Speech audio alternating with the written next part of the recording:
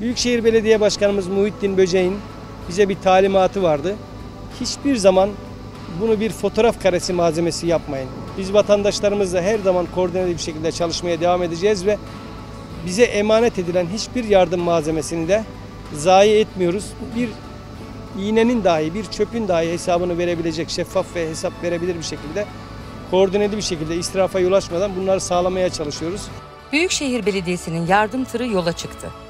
Alevlerle mücadelenin sonlanmasının ardından vatandaşların temel ihtiyaçlarını karşılamak üzere hazırlanan yardım tırı kuru gıda, soğuk su, buz gibi malzemeleri en hızlı şekilde AFS'lere ulaştırıyor. Gıda ve içecek gibi sıcak havalarda hızla bozulan malzemeler tam donanımlı tır sayesinde sağlıklı bir şekilde vatandaşlarla buluşturuluyor.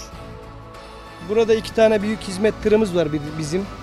Bir tanesi Anet'in soğuk zincir tırı. Hem vatandaşlarımız orada kendi ürünlerini saklayabiliyorlardı.